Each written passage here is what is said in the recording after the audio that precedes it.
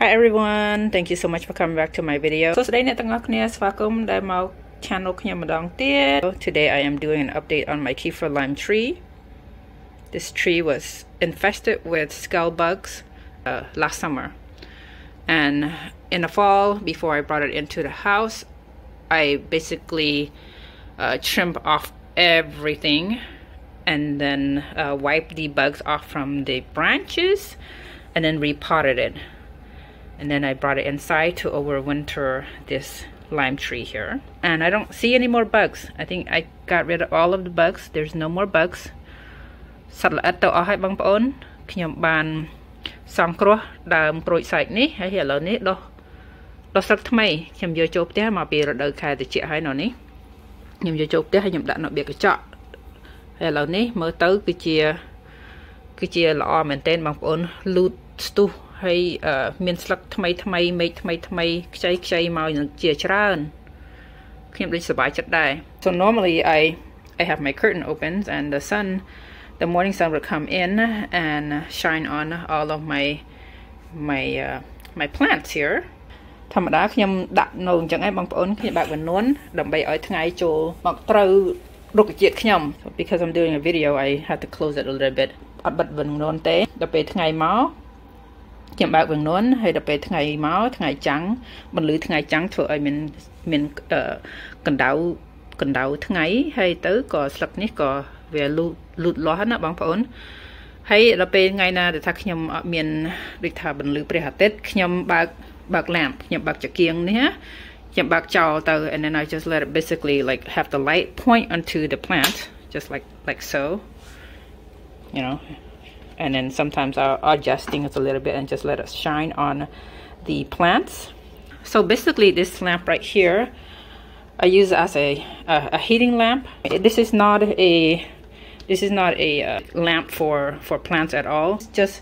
a normal lamp to use in a bedroom. So I, I figured I'll, I'll bring it in and just kind of let the light warm the plants a little bit when it's too cold or when there's no sun shining onto the plants. Okay, bang on. As you can tell, it is doing so well. There's no more bugs. There's no more bugs at all. And មើលទៅបងប្អូនមានពលក់ពលក់មកលឺតមកច្រើនមែនទែនសិតតែស្លឹកថ្មីថ្មីបងប្អូនដោះមកមើលទៅខ្ញុំមានខ្ញុំមានសង្ឃឹមថាដើមក្រូចសើចខ្ញុំនេះអត់ស្លាប់ទេ ខ្ញុំខ្ញុំដឹងថានឹងរស់មកពីវាមានពលក់ថ្មី មានជីវិតថ្មី មានមេឃថ្មីមកហើយបងប្អូនខ្ញុំសប្បាយចិត្តហើយរីករាយមកពីខ្ញុំមកចាំទិញដើមមួយទៀតណាដើមមកចាំទៅផ្សារទិញដើមដើមក្រូចសើចមួយទៀតខ្ញុំអាចសង្គ្រោះសុខក្រូចសើចដែលថាមានបញ្ហារបស់ខ្ញុំកាលពីរដូវខែប្រាំងមុនហ្នឹងណា Yeah, it's doing so well. I am so so proud and so pleased with the result. មកប្លុកមកល្អល្អមែនតើ oh, the, the leaves are so like amazingly healthy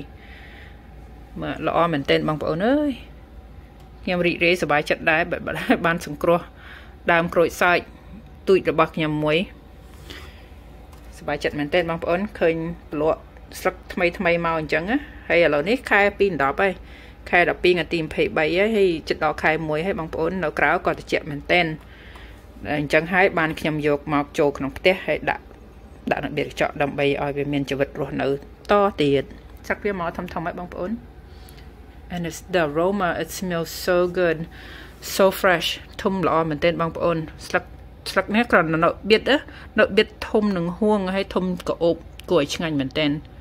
and again this is just an update on my Kefir lime tree that I strip off I'll do more videos and share some more of the uh, progress on this plant that I that I'm saving. Please don't forget to like share and subscribe. Alright, you guys, if you are interested in seeing how I clean up the Kefir lime tree while it was infested, filled with the skull bugs, insects, you can check out the link below on my description box or in my comment section. And uh, just click there and then it'll take you to the videos of how I clean and repot the Kefir lime here. ខ្ញុំមាន link ដែលថាខ្ញុំបានតនៅខាងក្រោម description box ខ្ញុំសូមមេត្តាចូលមើលបើសិនជាចង់មើលខ្ញុំសម្អាតមែកឈើដើមឈើដែលថាមានសក្ចៃរុំពីមុនមកកាលរដូវខែប្រាំងបងប្អូនសូមមេត្តាចូលមើលទៅ បានឃើញខ្ញុំសម្អាតមែកឈើដើមឈើនេះហើយអូខេអញ្ចឹងបានទេ អរគុណច្រើនដែលបានមកទស្សនានៅ channel ខ្ញុំបាយបាយ listen hi